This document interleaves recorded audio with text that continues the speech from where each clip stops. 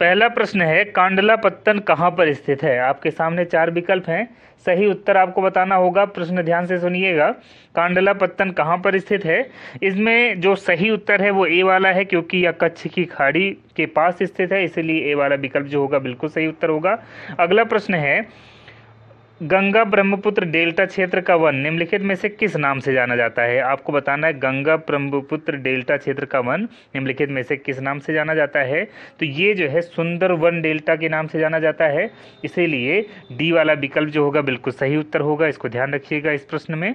अगला प्रश्न है, निम्नलिखित में से कौन बायोस्फेयर रिज़र्व या सुरक्षित जीवमंडल नहीं है? आपको बताना है निम्नलिखित में से कौन बायोस्फेयर सुरक्षित जीव मंडल नहीं है। इसमें भी आपका डी वाला विकल्प बिल्कुल सही होगा, काजीरंगा। काजीरंगा नेशनल पार्क जो कि असम में है, ये सुरक्षित जीव मंडल नहीं है, इसलिए डी वाला विकल्प जो होगा बिल्कुल सही होगा। अगला प्रश्न है, लूनी किसकी सहायक नदी है? लूनी किसकी? सहायक नदी है, गंगा की, यमुना की, चंबल की, या फिर इनमें से कोई नहीं। तो इन चारों विकल्प में से जो सही उत्तर है, वो है डी वाला, क्योंकि लूनी इन सब में से जो तीनों नदियों के नाम दिए गए हैं, इसमें से किसी की सहायक नदी नहीं है। अगला प्रश्न है इनमें सबसे अधिक वर्षा कहाँ होती है? आपके सामने चार विकल्प है कभी कभी गलती कर देते हैं इसमें। जैसे हम लोग मेघालय याद रखते हैं, लेकिन अब मेघालय के अंतर्गत कभी कभी क्वेश्चन आ जाता है। तो इसमें देखिए क्या है, इनमें सबसे अधिक वर्षा कहाँ होती है? उस स्थान का नाम आपको बताना है। तो इसमें जो आप सी वाला विकल्प देख रहे हैं, बिल्कुल सही होगा, क्योंकि भारत में सर्वाधिक वर्षा मासिन राम, जो कि मेघालय में है, यहाँ पे होती है, इसको ध्यान रखिएगा। अगला प्रश्न है, विश्व का सर्वोच्च पर्वत शिखर एवरेस्ट नेपाल में किस नाम से प्रसिद्ध है?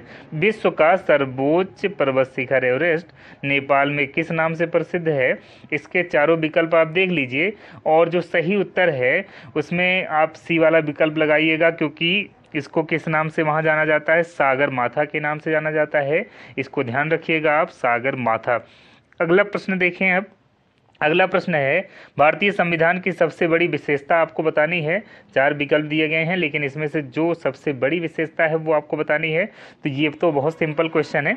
इसमें बी वाला विकल्प बिल्कुल सही होगा। सबसे बड़ा संविधान है, विश्व का सबसे बड़ा संविधान है। ये इसकी सबसे बड़ी विशेषता है, इसको ध्यान रखिएगा। अगला प्रश्न है संविधान के किस अनुच्छेद में यह वर्णित है कि प्रत्येक व्यक्ति धार्मिक विश्वास और उसके अनुरूप आचरण करने के लिए तथा अपने विचारों को दूसरों के समक्ष रखने के लिए स्वतंत्र है। आपको बताना है, यह किस अनुच्छेद के अंतर्गत वर्णित है? आप देख सकते हैं, विकल्प जो दिया गया है, अनुच्छेद 25 दिया गया 60 दिया गया 105 और 130 दिया गया तो हम आपको बता देते हैं, अनुच्छेद 25 से 28 तक 28 तक धार्मिक स्वतंत्रता के अधिकार दिए गए हैं। यहाँ पे 28 से 25 से 28 तक। जो है, धार्मिक स्वतंत्रता का अधिकार दिया गया है, उसमें वर्णित है। तो इनमें जो सही उत्तर होगा, इस प्रश्न के लिए जो सही उत्तर होगा, वो ए वाला होगा, अनुच्छेद 25 के अंतर्गत वर्णित है। अगला प्रश्न है, भारतीय संविधान के किस अनुच्छेद में गो हत्या पर प्रतिबंध लगाया गया है? आपके सामने इसमें भी चार विकल्प दिए गए हैं। देखिए जैसे ये संविधान में ही दिया गया है, लेकिन कुछ सरकार ऐसी है कि अपने नाम का डंका पीटती है कि हम रोक लगा रहे हैं। तो ये संविधान अधिकार देता है कि गौ हत्या पर रोक लगाया जाए। सत्यता तो ये है कि अनुच्छेद, पहले तो इसका उत्तर देख लीजिए, ये किसमें है?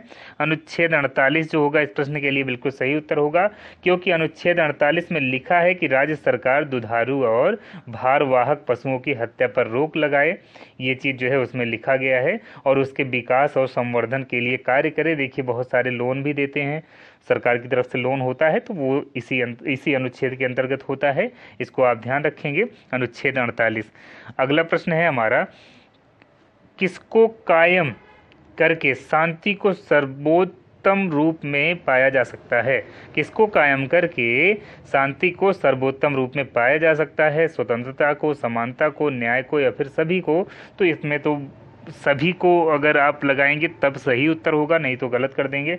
इसमें स्वतंत्रता भी ज़रूरी है, समानता भी ज़रूरी है और न्याय भी ज़रूरी है, इसीलिए डी वाला विकल्प जो होगा, बिल्कुल सही होगा। अगला प्रश्न है, उन्नीस में भारत के किस राज्य में भयानक अकाल पड़ा था? आपको बताना है कि सन उन्नीस में भारत के किस राज्य में भयानक अकाल पड़ा था? उड़ीसा बिहार, बंगाल या फिर राजस्थान? चारों विकल्प में से जो सही उत्तर है, वो आपका सी वाला है, क्योंकि बंगाल में भयानक अकाल पड़ा था उन्नीस में। एक चीज़ और ध्यान रखिएगा, बंगाल में एक, इसके पहले भी अकाल पड़ चुका था, वो 1770 से 1772 के बीच में अंग्रेज़ी शासन था तब। उस समय पर भी इसमें पहली बार बंगाल में अकाल पड़ा था, इसको ध्यान रखेंगे आप। अगला प्रश्न है, यदि धन बहुत अधिक हो और माल बहुत कम हो तो वह स्थिति क्या होती है आपको बताना है। यदि धन बहुत अधिक हो और माल बहुत कम हो तो वह स्थिति कौन सी होती है? तो वो होती है मुद्रा स्फीत। इसीलिए इसमें जो सही उत्तर होगा वो आपका बी वाला होगा। मुद्रा स्फीत देखिए, बी वाले विकल्प में दिया गया है।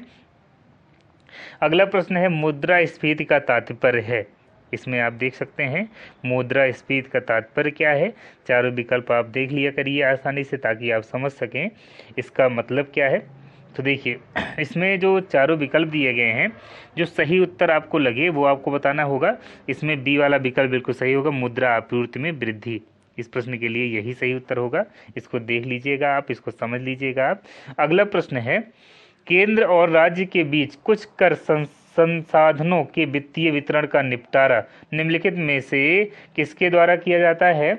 केंद्र और राज्य के बीच कुछ कर संसाधनों के वित्तीय वितरण का निपटारा निम्नलिखित में से किसके द्वारा किया जाता है?